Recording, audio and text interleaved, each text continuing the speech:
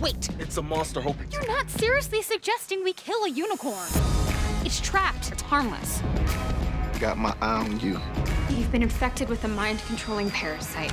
The unicorn brought him on the school grounds to infect all of us. It gets worse as it spreads. So they're all infected.